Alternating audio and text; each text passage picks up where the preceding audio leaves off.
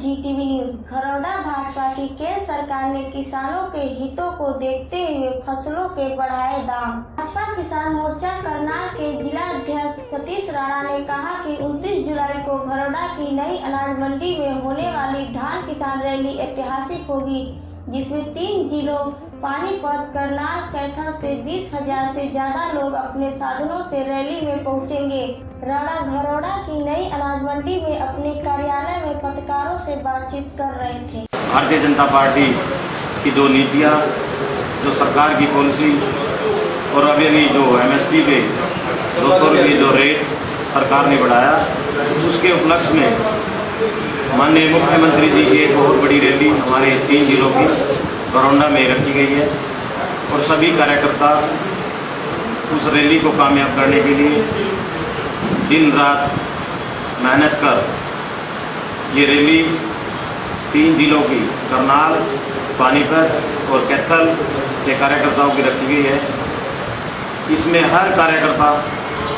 चाहे वो किसी मोर्चे से संबंधित हो चाहे भारतीय जनता पार्टी का कार्यकर्ता, किसी भी रूप में बूथ स्तर तक जाकर पार्टी की नीतियों को नीचे तक ले जाकर माननीय मुख्यमंत्री जी का आभार व्यक्त हम सब कार्यकर्ता मिलकर करेंगे। इसी संदर्भ में भारतीय जनता पार्टी ने ये रैली रखी है और आपके बीच में आने का मौका मिला। मैं आपके द्वारा मीडिया के माध्यम से सभी कार्यकर्ताओं से भी अपील करूँगा कि किसान मोर्चा दिन रात कर इस रैली को कामयाब करने के लिए हम कोई कसर नहीं छोड़ेंगे। ये रैली बहुत बड़ी और ऐतिहासिक रैली होगी कि तीन जिलों के कार्यकर्ता इसमें भाग लेंगे और सभी विषय पर मुख्यमंत्री जी जो सौगात दी है प्रदेश की जनता को, उसको संबोधित मुख्यमंत्री जी और हमारे हरियाणा के बहुत ही पूर्व में राष्ट्रीय रहे किसान मोर्चा के ओम प्रकाश धनखड़ जी, हमारे किसान मोर्चा के प्रदेश अध्यक्ष भाई समय सिंह भाटी जी और हमारे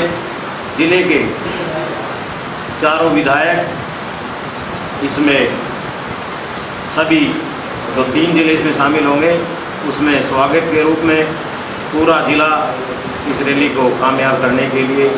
दिन रात मेहनत करेगा पेश है हरियाणा से हमारे संवाददाता अनीस कौशिक की खास रिपोर्ट